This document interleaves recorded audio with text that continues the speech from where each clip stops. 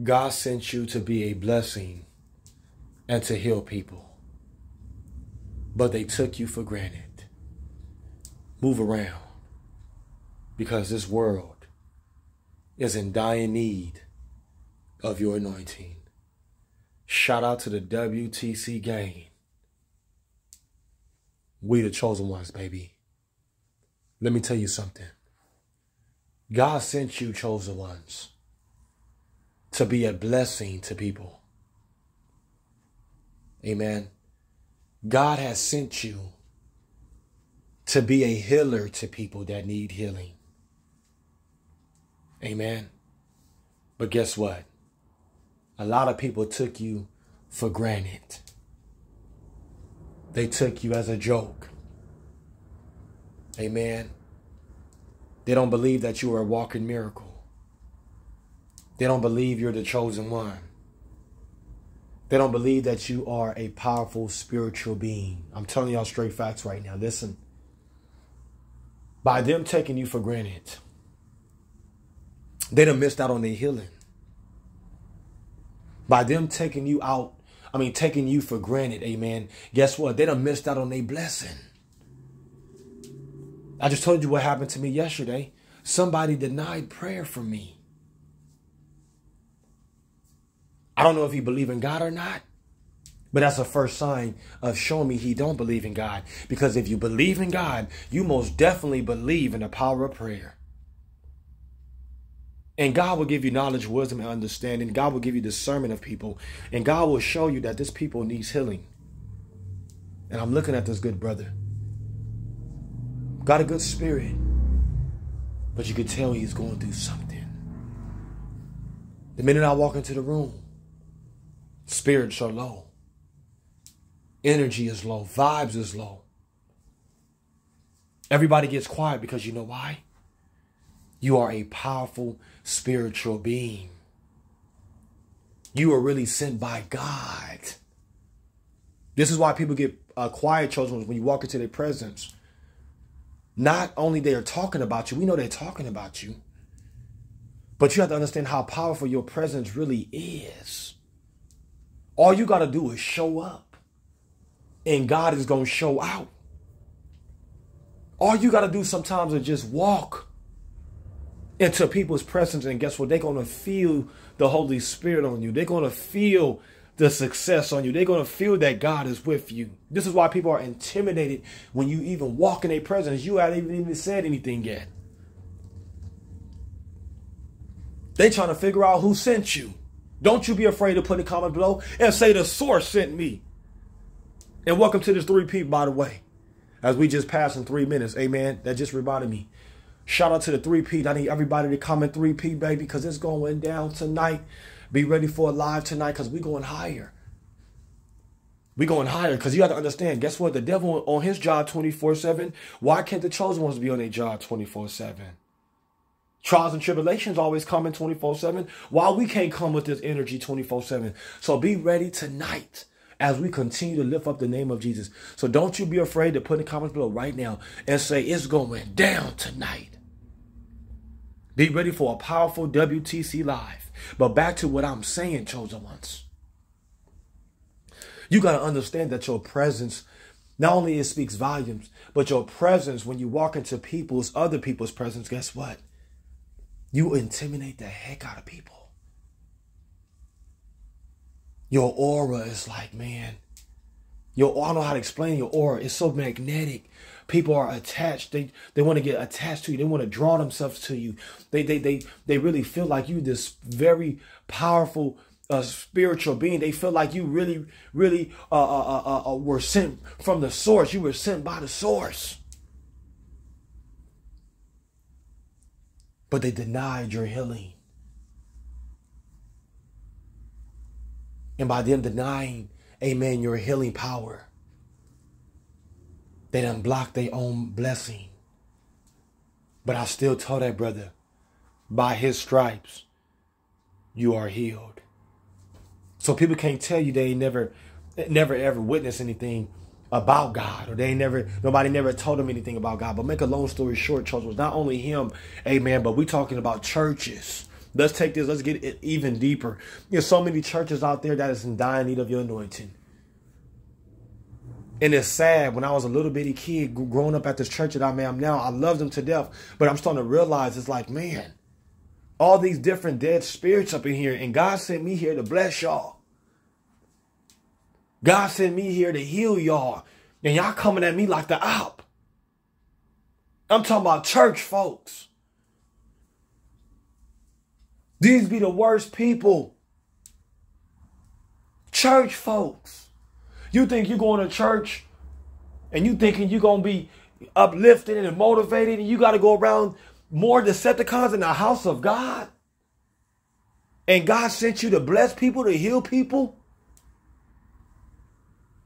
And they take your love and your blessings and your healing power for granted? Your praying power for granted? And they still talking about you and you got a heart for people. They still hate you and you love them. You got to be really God serving. You got to be really chosen by God to still love people that hate you. Uh, my, my, my, my, my, my, my, my. Jesus got to be, oh man, think about Jesus. They hated Jesus so much. And Jesus still loved them. Jesus still was healing people and he knew that they hated him.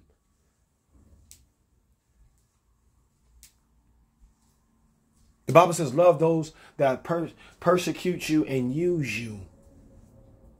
Love the, your enemies. Amen. But sometimes we got to learn to start loving people from a silver spoon and, and go give people that really deserve our blessings. Go give someone that really deserve our presence. Go someone that really deserves the anointing that God put on our lives so other people can get, be healed. You're wasting your anointing at a church, amen, that that's not even accepting of your anointing. They're not even accepting of your gift. They don't even want to see you win. They don't want to get to the next level. The Bible even says it. It's going to be a great falling of the church.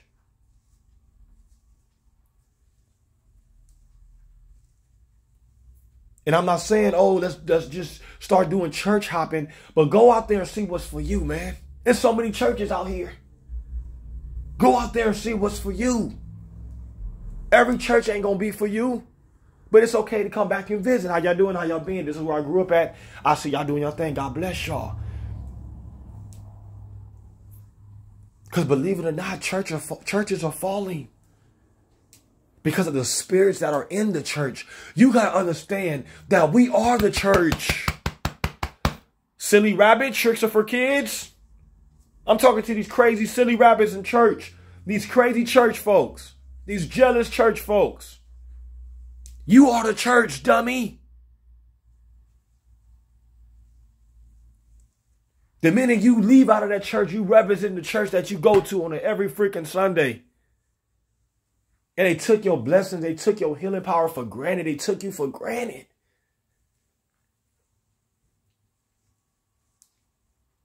You make the choir sing better. You understand what I'm saying? You you make the you bring the atmosphere in the church. You you bring blessed people with your presence, and they can't stand you.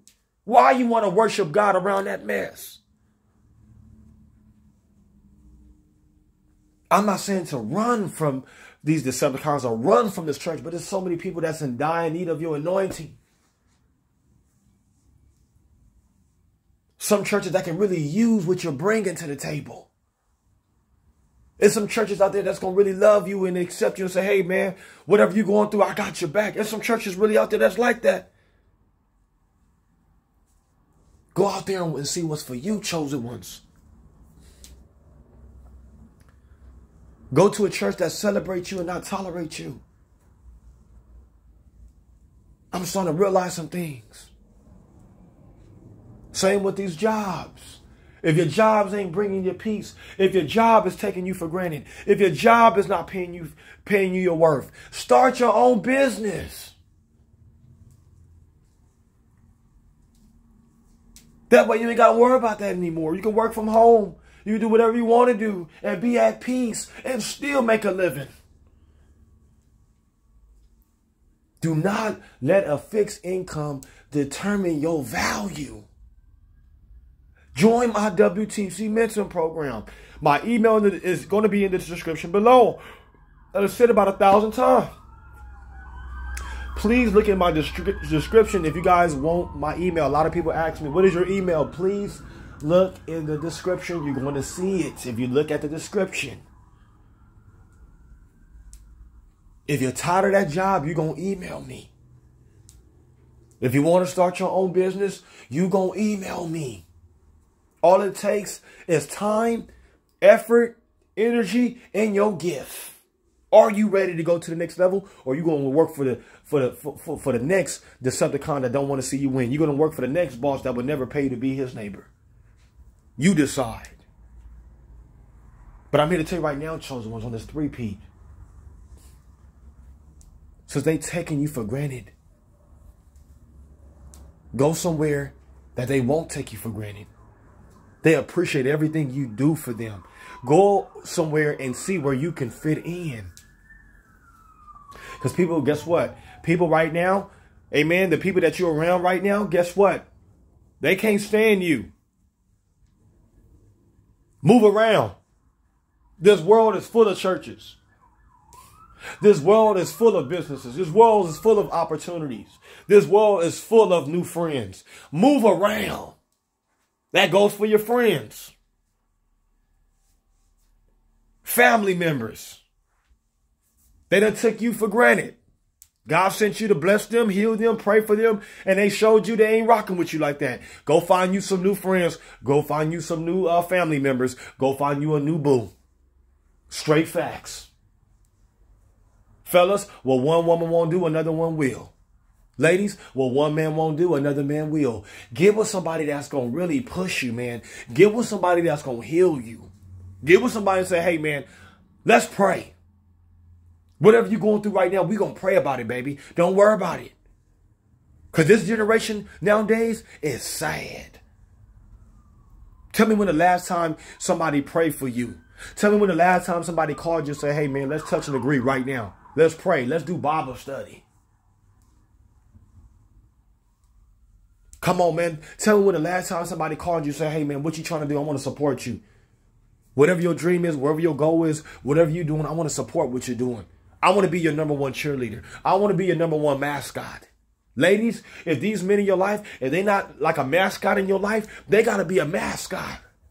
Go, baby. Go, baby. And they got to mean it. Men, if these women ain't out here, if they not like cheerleading, hip hip hooray, daddy. Hip hip hooray. That's my daddy. That's my papa. That's my chosen boo. If they ain't doing that every day, you better let them go.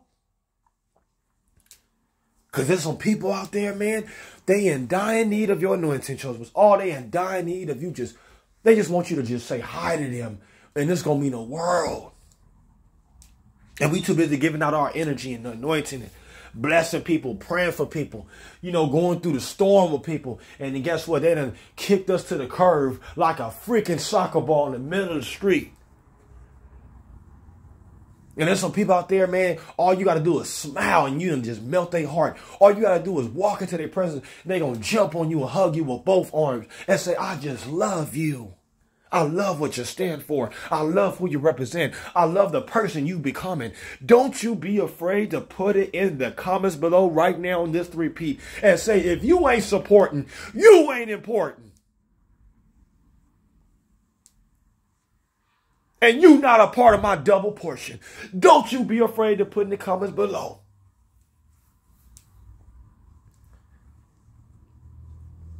and say if you ain't supporting you're not important and you're not a, and you're not going to be a part of my double portion you're not going to be a part of this triple portion blessing because you took me for granted and now God is getting ready to send somebody in your place because you want to be silly and take a chosen one for granted. Keep that same energy. I'll see y'all in live tonight we still chosen if they ask.